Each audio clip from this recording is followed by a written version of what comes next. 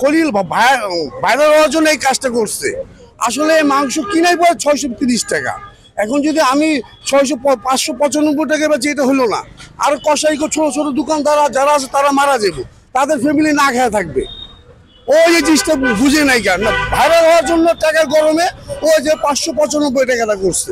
পাঁচশো পঁচানব্বই টাকা কিন্তু দাম। পাঁচশো পঁচানব্বই, দেখেন কিছু কিছু জায়গায় পাঁচশো আশি টাকা বিক্রি করে তারা কি ভাইরাল হওয়ার জন্য করে? আর মিডিয়া জগৎ আছে, তাদের ভাইরাল করে আর গরিব মানুষ মরতেছে যে তাদের দেখবে না, যারা গরু পালে তাদের দেখবে না, তারা কি বাইচে আছে না মহিলা আছে?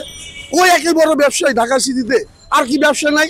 ওর আগে ছিল, আগে পুরান ঢাকা বেচে সাড়ে পাঁচশো টাকা, তার তো ভাইরাল হলো না। তারা তা আমার চেনে কমে বিক্রি করে? তারা তো ভাইরাল হওয়ার জন্য করে না। আসলে যারা দেখতেছে যে সেলটা যদি বেশি হয়, তাহলে কাস্টমারও খাইতেছে, আমরা সবাই বিক্রি করে আনন্দ পাইতেছি। এইটাই, আসলে কোনো ভাইরাল না। ভাইরাল কি? গ্রাম- গ্রামগঞ্জে করে দেখেন সাতশো পঞ্চাশ টাকার বিক্রি করতেছে। ঢাকাতে ছয়শো পঞ্চাশ টাকা। আসলে গরু যারা ব্যাপারী আছে তারা না খায় মরতেছে। তাদের কষ্টটা কেউ দেখতেছে না। ভাইরাল কি কেউ টাকা দা ভাইরাল হয়? আর আমরা কি এরকম ধনী মানুষ যে ভাইরাল হমু টাকা দিয়া? আপনারা কেউ টাকা নিচ্ছেন আমার তো আজ পর্যন্ত? তাহলে এটা কেন হচ্ছে ভাইরাল? বলেন। এই আর কি। এটা ওনার গুজব একটা কেউ অহংকারী কিছু লোক থাকে তারা হয়তো এই কথাগুলো বলতে পারে যে ভাইরাল হওয়ার জন্য। মাংস সস্তা সবাই খাচ্ছে। আসলে তো মাংস বাসায় গিয়ে দেখতেছে চর্বি পাঁচ কেজি বিধি এক কেজি চর্বি। আগে তো এটা সিস্টেম ছিল না। আপনার গরু সংগ্রহ করেন কোন? আমি সম্পর্ক গরু কিনে গাবতলি গরু হাট থেকে। অনেকে তো বলে যে গাবতলি গরু হাটের গরু কিনে ছয়শো টাকা সাড়ে ছয়শো টাকা বেচা সম্ভব না। হলে বাকি কিনে তো আর আমি কিনে নগদ থেকে আর তাদের লেনদেন যাদের খারাপ ওদেরটা একটু আর কি মানে দাম কস্টিংটা বেশি করে দেয়। আমরা যদি এখন সত্যি কথা বলি তাহলে অনেক ব্যবসায়ী কিন্তু মারা যাইব। ছোট ছোট ব্যবসায়ী যারা আছে তারা মারা যাব বড় বড় ব্যবসায়ী তারাই টিকে থাকবে এখন। এখন বর্তমানে কোথাও লাভ হয় না। ছয়শো পঞ্চাশ টাকা বেচে ঠিক আছে এখন খলিল বেচে দেখে আম- আমাদের ব্যস্ত হয়। এখন সত্যি কথা বলতে লাভ কম হয়। ইন্ডিয়ান গরুটা যদি আসে আমাদের খামারিগুলো ক্ষতিগ্রস্ত হয়ে যায় তো আমার কথা হলো যে খামারিগুলোরা যদি খালি প্রফিটটা একটু কম করে বিক্রি করে তাহলে হয়ে যায়। তোমরা দেশের আসল নায়ক বলবে বিশ্ববাসী। আসসালামু আলাইকুম বন্ধুরা কেমন আছেন? আশা করি সবাই ভালো আছেন। বন্ধুরা দাঁড়িয়ে আছি উত্তর শাহজাহানপুর। উত্তর শাহজাহানপুর ফ্লাইওভারের নিচে এইদিকে আছে রাজারবাগ আর উল্টা দিকে। শাহজাহানপুর, ওইদিকে ফ্লাইওভার দিয়ে চলে যাবে খিলগা। তা এই শাহজাহানপুর রেলওয়ে বাণিজ্যিক এলাকা বলা হয়। এইখানে দেখতে পাচ্ছেন হালাল মিট। প্রতি কেজি পাঁচশো পঁচানব্বই টাকা। আমরা এখন এই গরুর কোয়ালিটিগুলো একটু দেখব। চলুন, আসুন। আমরা প্রথমে ভিতরে ঢোকার আগেই দেখতে পাচ্ছি যে এই যেখানে গরুর চামড়া রাখা আছে। হ্যাঁ আমরা দেখতে পাচ্ছি চামড়া লাল চামড়া। লাল চামড়া মানেই তো আমরা জানি যে লাল গরু এটা সাইওয়াল ব্রিডেরই গরু হবে। হ্যাঁ সাইওয়াল রেড সিন্ধি আমাদের দেশাল ব্রিড। তো মাশাল্লাহ আমরা যে গরুটা জমে এসে দেখতে পাচ্ছি কোন জায়গা থেকে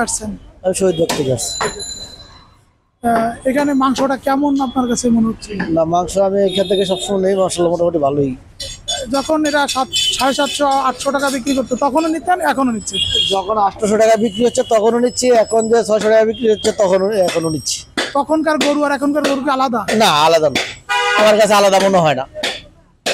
আমি তো সবসময় নেই আমার কাছে আলাদা মনে হয় না। তাহলে আপনারা এখন এই কম দামে গরু মাংস দিচ্ছেন কীভাবে বলেন তো? গরুর মাংস আমরা কম পাইতেছি কম বিক্রি করতেছি। আপনাদের আজকে কয়টা গরু জবাই হবে? গরু গরু জমা করছি দশটা। এটা হলো এগারোটা। এটা হলো এগারোটা? এগারোটা কাটছি। যখন আটশোশো টাকা কেজি ছিল এখন পাঁচটা ছয়টা এমন বিক্রি হয়েছে আর দাম কমনে আল্লাহ রহমত দশটা পনেরোটা বিশটা করে বিক্রি হয়। কোন জায়গা থেকে আসছেন? পুলিশ থেকে আসছে। আপনি কি পুলিশের সদস্য? আপনি তো পুলিশের সদস্য এখান থেকে নিয়মিত মাংস নেই আগে নিয়মিত নি না মাঝে মাঝে আসে। আগে মাংস নিতেন আর এখনকার মাংস নিচ্ছেন দামের ব্যবধান এটা আপনার অনুমতি দাম কমার পরে মাংস নিই নাই ঠিক আছে? আমরা হঠাৎ হঠাৎ বেড়াকে রান্না করি তো হঠাৎ হঠাৎ নিতে আসি। তুই আজকে প্রথম আসলাম। এভাবে জোড়া থাকবে টুকরা করা যদি আপনি নিতে মন চায় আমরা ম্যাচিং করে দিই নিতে পারবেন। মানে আপনার যেটা চয়েস হয় সেটাই নিতে পারবেন এখানে আনচয়েসের কিছু নেই বা আমাদের চুজ করা নাই। কাস্টমারের চয়েস আমরা এটা সেবা দিতে হবে যে এখানে ভালো পাইবো ওই আশায় আসে। এবং ভালো গরু জবাই হয় আসে। কিন্তু এখানে আমরা সামনে জবাই করি, সামনেই বিক্রি করি। আমরা এই যে হালাল মিটটা দেখতে পাচ্ছি, আমাদের পিছনে আছে যে খলিল বস্ত্র বিতান। খলিলের ওইখানে কিন্তু বেশ এরাও যেরকম ওরাও সেরকম খলিলের ইটা একটু বেশি। ওইখানেও কিন্তু মূলত অনেকগুলো গরু জবা যাচ্ছে বন্ধুরা, দেখতে পাচ্ছেন হালাল মিট, এটা হচ্ছে ছয়শো তিরানব্বই বাই তিন, উত্তর শাহজাহানপুর, ঢাকা। এটা একটা স্থায়ী মাংসের দোকান। আমার পাশে দাঁড়িয়ে আছেন এই হালাল মিটের যিনি ওনার বা মালিক। আসসালামু আলাইকুম ভাই আপনার নামটা মোহাম্মদ নাম নূর আলম মোহাম্মদ নূর আলম। কত বছর ধরে মাংস বিক্রি করছেন? আট বছর ধরে করতেছি মাংসের ব্যবসা। এই আট বছর ধরে তো খালি প্রতি বছরে আমরা শুনি যে দাম বাড়ে। বাড়ে জি। এই যে দাম কমাই ফেললেন কীভাবে সমালাম দাদা এখন সত্যি কথা বলতে আমরা যদি এখন সত্যি কথা বলি তাহলে অনেক ব্যবসায়ী কিন্তু মারা যাব ছোট ছোট ব্যবসায়ী যারা আছে তারা মারা যাব বড় বড় ব্যবসায়ী তারাই টিকে থাকবে এখন। এখন বর্তমানে কোথাও লাভ হয় না। ছয়শো পঞ্চাশ টাকা বেচে ঠিক আছে, এখন খলিল বেচে থেকে আম- আমাদের বেচতে হয়। এখন সত্যি কথা বলতে লাভ কম হয়, সমান সমান থাকে। এই জন্য করে ওটা বিক্রি করে। আসলে এখন ছয়শো পঁচানব্বই টাকা, পাঁচশো পঁচানব্বই টাকা বেচার সামর্থ্য নাই। ওনার জন্য, উনি খলিল ভাইরাল হওয়ার জন্য এই কাজটা করছে। আসলে মাংস কিনাই পড়ে ছয়শো তিরিশ টাকা। এখন যদি আমি ছয়শো পাঁচশো পঁচানব্বই টাকা বেচি এটা হলো না, আর কষাই ছোট ছোট দোকানদার যারা আছে তারা মারা যাবে, তাদের ফ্যামিলি না খেয়ে থাকবে। ওই যে জিনিসটা বুঝে নাই কেন? ভাইরাল হওয়ার জন্য টাকার গরমে ওই যে পাঁচশো পঁচানব্বই টাকাটা করছে। আপনারা মিডিয়া যারা আছেন তারা তার কথাতে প্রাধান্য দিলেন। ছোট ছোট ব্যবসায়ী যারা আছে, এলাকার ভিত্তিক ছোট ছোট দোকান তারা না খায় মরবে। তাদের বাচ্চা লেখাপড়া করতে পারবে না। এখন তো আপনি খোঁজ নিয়ে দেখেন ছোট দোকান সব বন্ধ হয়ে গেছে। ভাইরাল হওয়ার জন্য পাঁচশো পঁচানব্বই আসলে পাঁচশো পঁচানব্বই টাকা এটা অযৌক্তিক কথাবার্তা। এটাকে নিজের টাকা গরম দেখার জন্য এটা করল। আসলে একটা ব্যবসায়ী সিস্টেম এমন না, এক আরেক ব্যবসায়ী মারা- মারার জন্য। এটাই কাহিনী রয়েছে, বুঝছেন? মেন কাহিনী হলো এটাই। বন্ধুরা, আমরা এখন খলিল বিতানে খলিল ভাইয়ের সাথে কথা। খলিল ভাই, অনেকে মনে করে যে আপনি হয়তো মিডিয়ার কাভারেজ পাওয়ার জন্য করছেন। এই বিষয়ে আপনার অভিমত কি? আচ্ছা মিডিয়ার কাভারেজ করার কি আসলে তো আমি জানতাম না যে মিডিয়া এইভাবে মানে প্রচার করব। আরেকটা কথা হলো যে পাঁচশো পঁচানব্বই টাকা কিন্তু দাম। পাঁচশো পঁচানব্বই দেখেন কিছু কিছু জায়গায় পাঁচশো আশি টাকা বিক্রি করে। তারা কি ভাইরাল হওয়ার জন্য করে? তারা তা আমার চেনে কমে বিক্রি করে, তারা তো ভাইরাল হওয়ার জন্য করে না। আসলে যারা দেখতেছে যে সেলটা যদি বেশি হয়, তাহলে কাস্টমারও খাইতেছে, আমরা সবাই বিক্রি করে আনন্দ পাইতেছি। এইটাই আসলে কোনো ভাইরাল না। ভাইরাল কি? ওর জন্য এই কাহিনীটা হয়েছে। আপনি অ্যাকচুয়ালি খোঁজ করলে গ্রাম- গ্রামগঞ্জে করে দেখেন সাতশো পঞ্চাশ টাকার বিক্রি করতেছে। ঢাকাতে ছয়শো পঞ্চাশ টাকা। আসলে গরু যারা ব্যাপারী আছে তারা না খায় মরতেছে। তাদের কষ্টটা কেউ দেখতেছে না। খালি ওর কথাই দিয়ে ভাবতেছেন আপনারা। এই পাঁচশো পঁচানব্বইটা কি এটা কি মানে ছয় মাস এক বছর চলবে নাকি চলবে না? না ছয় মাস না হয়তো আরও দু তিন মাস যেতে পারে। রমজান পর্যন্ত হয়তো বা এর দাম বা রমজান ঈদ পর্যন্ত এই দাম থাকতে পারে। তবে যদি আমরা গরুর দামটা একটু কম কাঁচামাল তো একটু বাড়লে হয়তো বাড়া হয়তো গল্প। আসলে তো আর ছোট ছোট গ্রামগঞ্জে যারা হাটে, গরু পালে তারা ব্যবসায়ী বন্ধ হয়ে যাবে। তারা না খেয়ে থাকবে তার এক সময় দেখা যাবে। আপনি এখনই খবর নিয়ে দেন, তারা তাদের বাচ্চাগুলো আমার না খায় রয়েছে। ছোট ছোট যারা এক খুন্ডি বাচ্চে, চার চার পিস করে এক পিস করে বাচ্চে, তারা না খায় রয়েছে, বুঝতে পারতেছে না ওর জন্য। ওই আরেক ব্যবসায়ীদের মারতেছে। শত শত ব্যবসায়ীরা ও মারতেছে। টাকার গরমে ও ভাইরাল হয়ে যাওয়ার বন্ধু কাহিনী করতেছে। ভাইরাল কি কেউ টাকা দা ভাইরাল হয়? আর আমরা কি এরকম ধনী মানুষ যে ভাইরাল হমু টাকা দিয়া? আপনারা কেউ টাকা নিছেন আমার তো আজ পর্যন্ত তাহলে এটা কেন হচ্ছে ভাইরাল বলেন। এই আর কি। এটা ওনার গুজব একটা কেউ অহংকারী কিছু লোক থাকে, তারা হয়তো এই কথাগুলো বলতে পারে যে ভাইরাল হওয়ার জন্য। আর মিডিয়া জগৎ আছে, তাদের ভাইরাল করে আর গরিব মানুষ মরতেছে, যে তাদের দেখবে না। যারা গরু পালে তাদের দেখবে না। তারা কি বাইচে আছে না মরে আছে? ওই একই বড় ব্যবসায়ী ঢাকা সিটিতে। আর কি ব্যবসা নাই? ওর আগে ছিল আগে পুরান ঢাকা বেচে সাড়ে পাঁচশো টাকা। তার তো ভাই হলো না। আপনার গরু সংগ্রহ করেন কোন আমি সম্পর্ক গরু কিনি গাবতলি গরু হাট থেকে। অনেকে তো বলে যে গাবতলি গরু হাটের গরু কিনে ছয়শো টাকা সাড়ে ছয়শো টাকা বেচা সম্ভব আর হলে বাকি কিনে তো আর আমি কিনি নগদ টাকা আর তাদের লেনদেন যাদের খারাপ ওদেরটা একটু আর কি মানে দাম কস্টিংটা বেশি করে দেয়। এই আর কি। অ্যাকচুয়ালি মনের কথাটা কেউ বুঝতে পারতেছে না। সস্তা পাইতেছে, সবাই ভিড়ে খাচ্ছে। আসলে তো ছয়শো পঞ্চাশটি হলে সবাই খেতে পারবে, গরিব দুঃখী যাতে গ্রামগঞ্জে ছোট ছোট রাখাল টাকাল যারা আছে, সবাই নিয়ে ভালোভাবে চলতে পারবে। ওই এক দফা বেচলে অনেক খামারি মারা যাবে, গরু পালবে না কেউ। এক সময় দেখা যাবে। খাবারে গরু খাবার দাম ষাট টাকা কেজি। কীভাবে বেচে এটা? নিজে ভাইরাল হওয়ার জন্য, এটা ক্যারি দেওয়ার জন্য এই কাজটা করল। এটা ঠিক না। আরও একজন, একশো জনের মাইরা নিজে প্রাধান্য হলো। এটা হলো? এটা তো হলো না। উচিত না ভাই। এটা তো আর খামারে দিয়ে খামারিদের জন্য একটা প্রভাব পড়বে। অভাব পড়বে না। পরে তো দেখা যাবে এক হাজার টাকা কেজি ইন্ডিয়া তো গরু দেয় না আমাদের। পরে আপনি গরুটা পাবেন কোথা থেকে? ছোট ছোট খামারি আল্লাহ বন্ধ করে দিবে ব্যবসা। পোলিট্রি মুরগি বন্ধ হয়ে গেছে এক সময়? এরকম একটু বন্ধ হয়ে যাবে। এটা কোনো ব্যবসায়িক সিস্টেম না। ও নিজে ভাইরাল হওয়ার জন্য নিজে ক্রেডিট রাখার জন্য পাঁচশো পঁচানব্বই টাকা বিক্রি করতেছে এটা একটু হলো। তার বেশ চর্বি মাথা মুথা দিয়ে এটা তো মাংস নিয়ে গেলে বাসায় দেখা যায় চর্বি পড়া তখন ওই জিনিসটা কেউ দেখতেছে না। দেখতেছে মাংস সস্তা সবাই খাচ্ছে। আসলে তো মাংস বাসায় গিয়ে দেখতেছে চর্বি পাঁচ কেজি বিধি এক কেজি চর্বি। আগে তো এটা সিস্টেম ছিল না।